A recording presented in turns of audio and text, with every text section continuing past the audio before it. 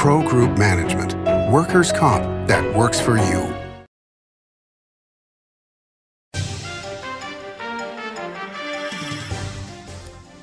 Welcome to Nevada Newsmakers on the broadcast. Today we're going to have a discussion on the current political state in Nevada between former Speaker of the Assembly John Oceguera and Assemblyman Tom Roberts. It's all coming up next on an all new Nevada Newsmakers.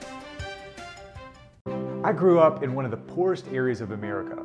My mom struggled to make ends meet, so I saw firsthand how government programs failed to help families like mine. That led me to start a nonprofit that helped thousands of low income students and empowered female and minority entrepreneurs. I believed in it so much that I lived in my car while I got it off the ground. My name is Drew Johnson and I'm running for Clark County Commission. I've been in poverty and I know what it's like to rise out of it with a hand up, not a hand out. Follow the money. Who's getting rich while making our laws? Let's take a look at what records show about Adam Laxalt. Laxalt owns stock in ExxonMobil and Chevron. And sided with Big Oil when he was Attorney General. Laxalt also owns stock in pharmaceutical companies. And sided with Big Pharma against a plan lowering drug prices. When they make money, he makes money. It's all true. The real Adam Laxalt. Just selling us out and cashing in. SMP is responsible for the content of this ad. Retail's impact on Nevada's economy? Enormous. 8,600 businesses, large and small, employing 145,000 workers. And last fiscal year, retail paid tax on nearly $60 billion in sales. We're the Retail Association of Nevada. We support retail, we help it grow, and we mean business. RANNV.org. The Nevada Builders Alliance has been protecting the interests of the construction industry for over 50 years. Our programs save members thousands of dollars every year and allow them to provide much needed benefits to their employees. Our industry also allows Nevada to grow. If you're thinking about a career in the construction industry, reach out. And if you haven't thought of a career in construction, what are you waiting for? We are the Nevada Builders Alliance. Nevada Newsmakers with host Sam Shad, a no holds barred political forum. Now, from the Nevada Newsmakers broadcast headquarters, here is Sam Shad. And back on Nevada Newsmakers, coming to you from the Ahern Hotel in downtown Las Vegas. Delighted to welcome the former Speaker of the Nevada Assembly, John Oceguera, and Assemblyman Tom Roberts of District 13. Pleasure to have you both here. Um, we're taping this uh, going into the election, and things seem to be, John, uh, correct me if I'm wrong here, but uh, both the public and the private polling are showing just about every race so close. Very close. Um, I think this is going to be one of the closest elections we've seen in a long time. I've done a couple of these interviews lately, um, national kind of things where we talk about what we think is going to happen in Nevada because everybody wants to know what's going to happen in Nevada. And boy, it's tough to call it's really tough to call a lot of these races. You know what's ironic, and, and I've kind of been arguing about this for years, uh, where people kept saying, oh, it's becoming a bluer, bluer uh, state. And, and I've kept thinking, no, as long as Washoe County is Washoe County, it's, the state is staying pretty purple, and it seems like that's become true. Yeah, I, I, would agree. you know, it seems like it's purple, but it goes to hues of red and, and you know, hues of blue. Uh, I think uh, a majority of Nevadans still have that libertarian feel. They don't want to uh, associates themselves with any party, which is why nonpartisans and non-affiliated voter populations are so high. And so I think you're exactly right. I was just going to add to that, and I think you know there's some states, you know, like Georgia that's going to be red, uh, California that's going to be blue.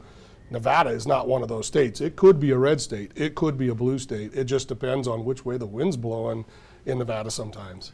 Um, and you know the the population has gotten tired of promises made and promises not kept. And, and don't you think that that's the reason why we're seeing so many unaffiliated people these days? Um, it's not that their leanings are different, it's just that they're not happy with the parties. Yeah, I think people are tired of the uh, rancor and the divisiveness of politics these days. You know, uh, when I first got into the legislature, there might have been a dozen partisan bills. And uh, Tom and I were talking about this the other day. Now, almost all the bills are partisan, and it's really sad, right? And so I think that's one reason. I think that because people are being registered and they, uh, you know, in the DMV and they're registered as nonpartisans, that's driving that number up as well. So uh, it'll be interesting to see how many of those folks that were registered actually come out and vote. And I think that's how that's why we don't really know what's going to happen. So you don't even think it's a question of pe people being registered in the wrong place as nonpartisans when they actually might be Republicans or Democrats, but you're concerned they may not even come out and vote despite being registered. Yeah, so you mentioned in the, you know private and public polling. I saw some polling the other day that said 38 percent uh, non uh, nonpartisans were going to vote. I think that's way high, right? Like I think that's way high, and so I, I'd be surprised if the nonpartisans came out in those kind of numbers. Um, following up on what John said, um, it seems as though the national policies of the parties are affecting the state legislators uh, rather than uh, the individual states making up their own decisions about things. Yeah, and I'll, I'll totally agree. Back when I first lobbied, uh, John was a speaker, uh, actually majority leader, first time speaker, speaker the second time when I lobbied for Metro. And I didn't see the divisiveness that you see at the national level. And actually, uh, we were quite proud in Nevada to not be national politics. And our, I think our approval ratings were much better. And over time, I think you've seen that national agenda kind of flow into the state and divide divide us up. Uh, it, and it, it's disconcerting. It's not the Nevada that I grew up with and, and uh, the legislature that, that I remember. Um, the red wave that was uh, discussed for so long um, turned on the Supreme Court decision, would you say? Uh, I, I think so. I think two things. Um, I think in this election, women, um, how women vote is going to be very important. And that's all women across the board uh, Democratic women, Republican women. Um, how they vote will determine the outcome of this election. And I do think Hispanic, the Hispanic vote, is, is critical in this election. And you know, I think that the Hispanic vote is leaning a little more to the right. Um, but I think that there's women that don't want somebody making a choice for them also. Well, the you know, first of all, the Hispanic vote is not a monolithic vote to begin with, but over the years, it's been seen as a more conservative vote, a religious vote, um, and so the abortion issue would certainly be um, a, a, a, topic for them. Um, you know, and do you think the election will pivot on that? Because some are saying there's abortion fatigue. Yeah, well, I believe that when the decision occurred, I, I think you saw a bump in a lot of polls uh, for Democrats in the state. Uh, that may be waning, and as Republicans continue to pound on the economy, I think that is going. That is the thing that everybody sees every day. Uh, when you go to the pumps, when you go to buy food, you know things are more expensive. Now, whether you can take that unpopularity of uh, the presidential, uh, you know, the Biden and the, pre- and, and, the administration in Washington and attach it to Nevada, and that resonates here, uh, it remains to be seen. I, I don't think you're going to have a red wave. I never thought we were going to have a red wave. People liken us to, well, what happened in Virginia? Well, Virginia isn't Nevada. We have a lot of things that same-day voter registration or same-day voter registration and voting. We have mail-in ballots. We have a lot of things that Virginia did not have, and I don't think that you're going to see the lack of Democrat turnout as you did in Virginia. So there could be a little bump, but I don't think it's going to be a wave. You agree? Well, I think, yes, I agree in part. Um, I think the turnout is critically important, as it always is. Who brings out their people is going to be critical in, in this election. So I agree with both the majority of what he said, and I would say whoever brings the people to, the, to vote is going to. Do, do you think that there's a chance of 2014 where one party just stays home? I don't think so. Um, I think that uh, I think folks are going to are, are going to come out. okay, so you you know we've been sitting here watching TV over the last few days uh, as we've been taping here in Las Vegas. You can't turn on the TV and not see one after the other, after the other, after the other of political advertising.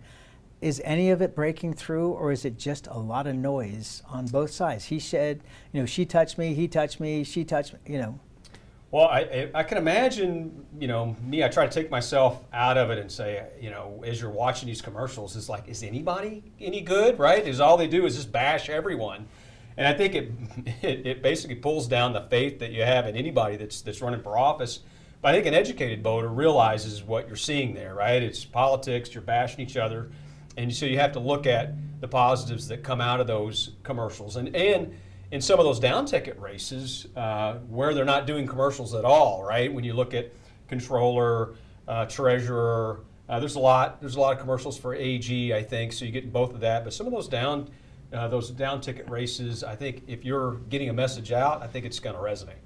You agree? Yeah, I, you know, unfortunately, Sam, um, and I've, this has always been the case, but negative works, right? Um, and well, so I mean, that actually, that's the question. Uh, You know, at a certain point, um, do you go so negative all the time that people just go, I'm not paying attention to any of it? I mean, if you hear a positive message, what's that going to do to you? Well, so I think one of the best uh, campaign commercials, maybe a little off topic here, is uh, Zach Conine, state treasurer's, uh, Mm-hmm. where he goes, "Okay, scary voice man, let me tell you. Let's not talk about that. Let's talk about some of the good." Th- I think that's one of the best commercials out. So we'll, it'll, we'll see, right? Did that work? Because he took a different approach. He did a little bit, like 10 seconds of negative, and then try to talk about the positive things he's done. So we'll see. You thought? No, I, yeah, I totally agree, right? Uh, negative does work, but at, a, at some point, people just become skeptical of everything that you hear, right?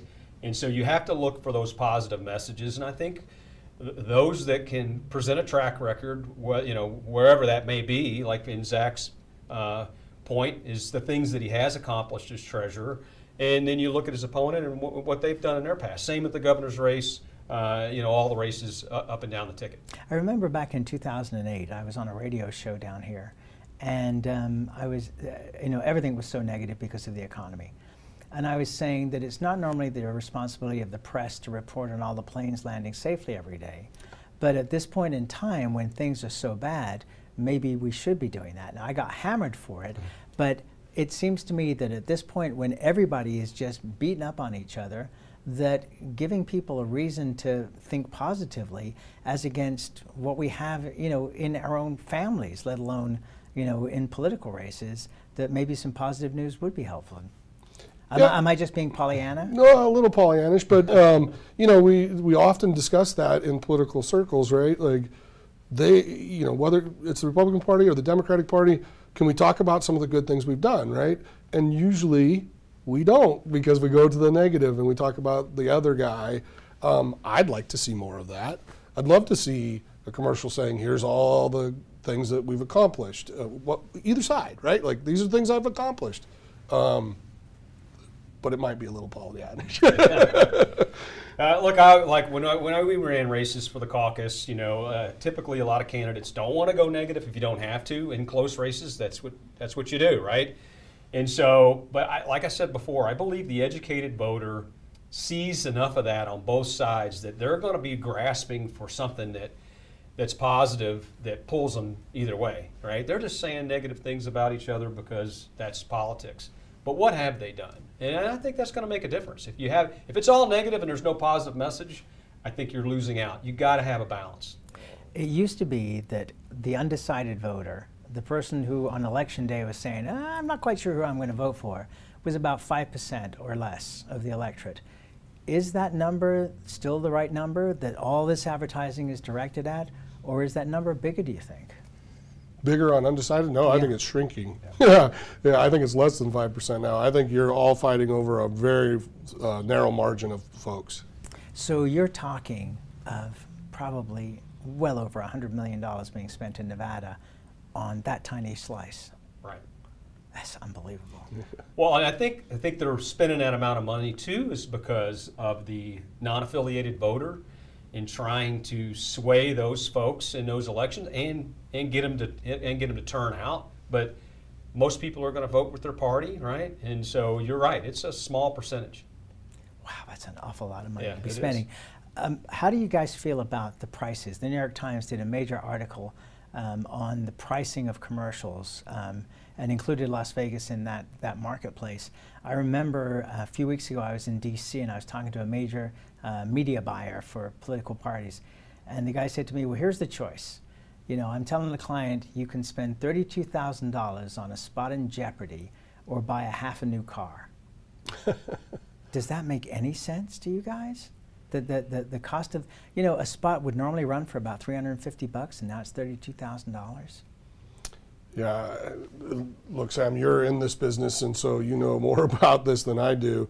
Uh, and I don't want to say, you know, people aren't watching your show because I know that we're going to get wide, wide viewership. But, um, you know, I, I don't have cable myself anymore. I do internet TV, right? Uh, YouTube. And thank TV. God we're there. So yeah, for sure, for sure. But um, maybe you know uh, it, that number is even less because who's actually watching Jeopardy anymore? Maybe it's the 65 or 55 plus that have cable still, but even folks my age at 54 are cutting the cord and you know getting their news from even myself from Twitter, from Instagram. I, you know, I'm kind of embarrassed to say it. well, it, it is kind of scary because I mean, obviously, the information that you're receiving there is is not, you know, necessarily accurate parsed news. What, what are your thoughts? Tom? Well, uh, like I agree that uh, not as many people like I don't consume like uh, on cable. I'm not spending a lot of my time in the one to thirteen range, right, on, on cable news, unless there's a national sporting event or something like that. So those ads are definitely well placed there, and it's it's a free economy, right? It's a market economy. They know that uh, these candidates want to get on TV, and so they're going to raise the price accordingly. Uh, it, it is it is what it is. It's uh, it, you know it's it's uh, it is a free market. And it certainly is. All right, let's take a break. We'll come back with these guys and talk more about this election cycle after this timeout.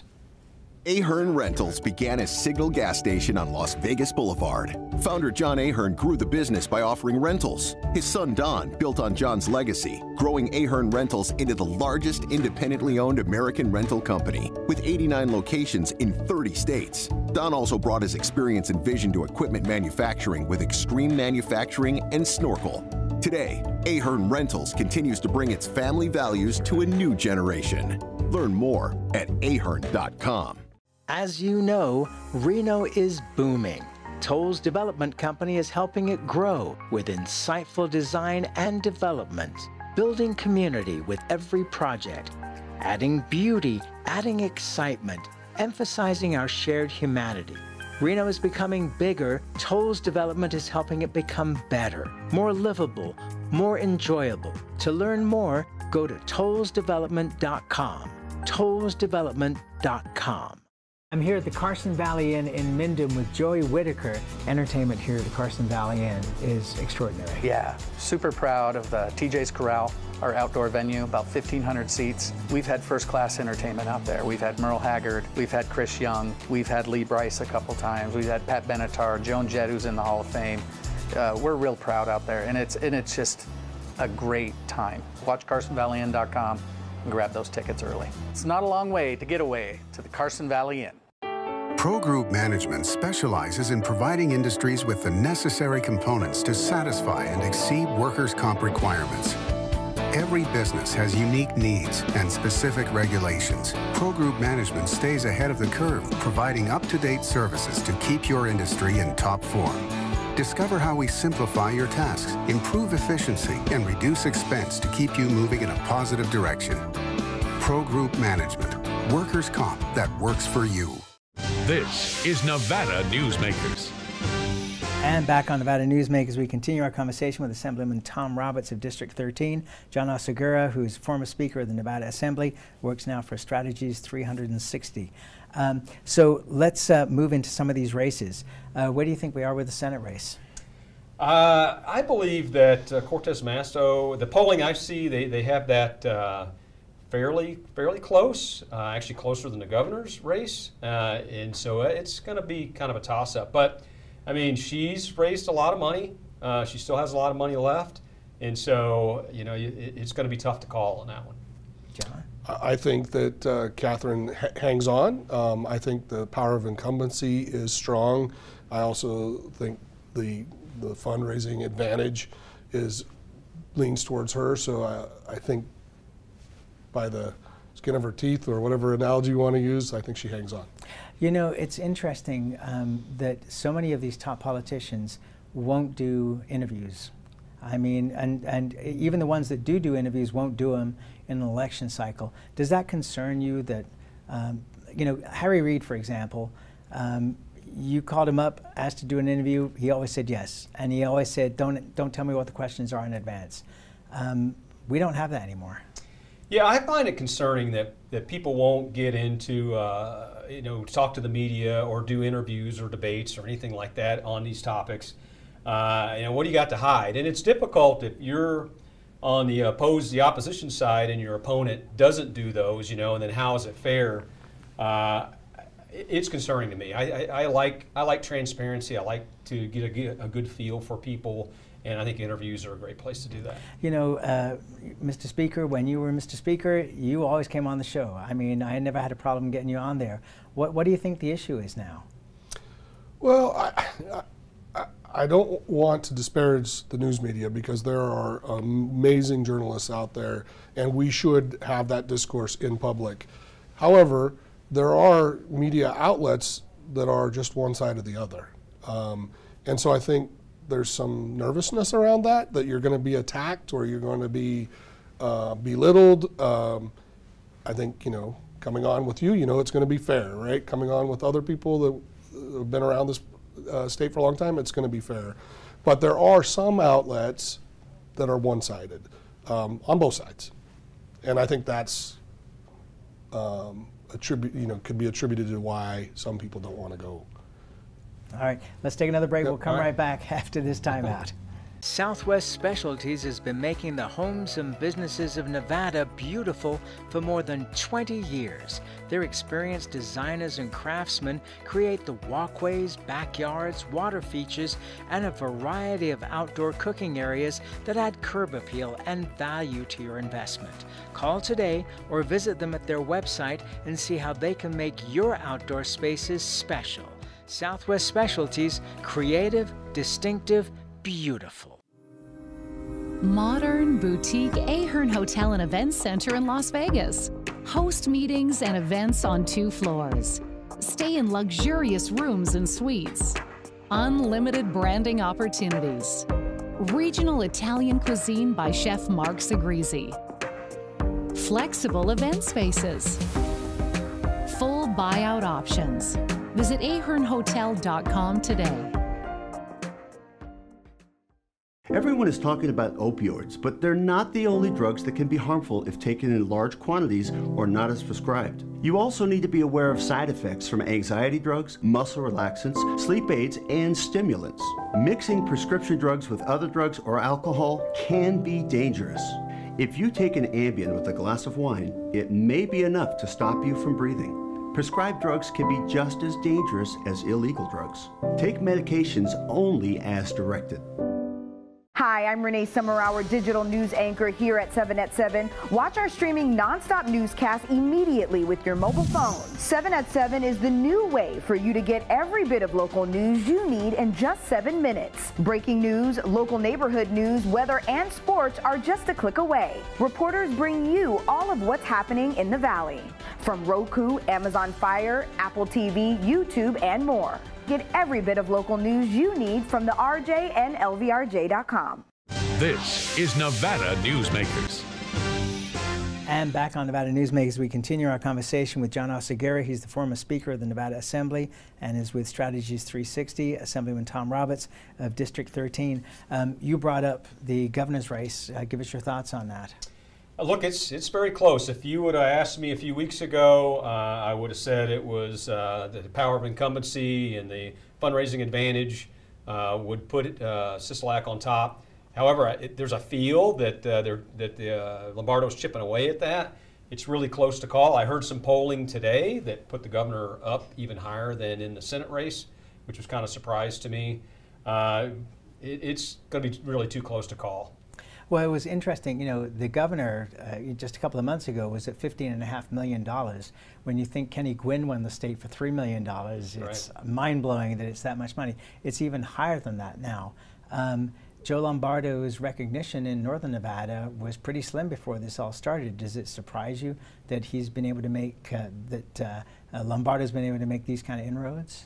Well, and Sam, you're just talking about the money they've raised, right? Right. Yeah. So the money that from outside sources, Democratic it, Governors Association, Republican Governors, Association absolutely is uh, you know dwarfs what they're spending, um, and so yeah, I mean, I guess the the uh, commercials are working, right? Like they're getting out there. I uh, I, I agree with Tom. I did something like this a couple weeks ago, and I would have said, the Sisolak is is definitely in the lead. Now I would say it's much closer. Um, did you think in your lifetime that you would ever see Dina Titus in a tight race in CD1? No, you know, and uh, you know, in redistricting last time uh, when we did that uh, last year, she was not very happy at the way her district, uh, to say was, the least, was carved, was carved up. I believe she used the word "screwed," the exact term. But uh, look, uh, you know, I I think Dina's going to pull that off. I mean, it might be close, but uh, I think the registration is not so far out of whack that uh, that she'll lose that seat. Uh, she's been around a long time. She's pretty savvy uh, with campaigns, and uh, I, I think she'll she'll hold that. Agreed. Agreed. Okay, let's uh, hit one other here, uh, which is uh, the Susie Lee uh, April Becker race. April Becker seems like she's run a pretty strong campaign. Does Susie Lee hang on? I think she does as well. Th though of our congressional races, I would say that's the closest one. Okay, Tom. I'd say it's the closest one as well. if you look at both of those ladies uh, on uh, on paper and in, in, their personalities, man, they're almost identical. Uh, I think that April Becker might pull that one off. All right, that's where we have to leave it for now. Right. But I hope to see both of you in Carson City during session. All right. So Absolutely. please come on Newsmakers then. We will. And we'll be right back. With Nevada's only transplant center and verified burn center, the science is here. With award winning cardiologist and the state's only dedicated heart failure clinic, the talent is here. With Nevada's most advanced robotic surgery, the technology is here. And with the Silver State's only designated pediatric trauma center, hope is here. All because we are here. UMC. Early in the morning or throughout the night, professional truck drivers are on the job, serving you, safely moving freight that's crucial to our economy. From the oldest industries to our newest innovators, from the exotic to the everyday. Trucks are everywhere, moving everything. Never afraid to embrace a future that makes Nevada and our nation stronger. Trucking moves America forward. What do you count on? You count on your power every day. At NV Energy, we've always powered what's important to you, but we're not looking at the past. We're focused on the future. While our standards are high, our rates will remain low. And our commitment to renewables isn't just meeting standards, but leading the way. Because you can count on more than just your power. You can count on the company who brings it to you. That's our promise. You can count on it. The 10th annual Nevada Newsmakers Goes to Washington is brought to you by the Regional Transportation Commission of Washoe County, your RTC our community. Pro Group Management, workers' comp that works for you. University Medical Center of Southern Nevada. Compassion, accountability, integrity, respect. The Nevada Mining Association, mining a better future for Nevada. And NV Energy. NV Energy proudly serves Nevada, providing electricity to 2.4 million electric customers. As always, you can watch Nevada Newsmakers 24 hours a day at NevadaNewsmakers.com. See you on the next.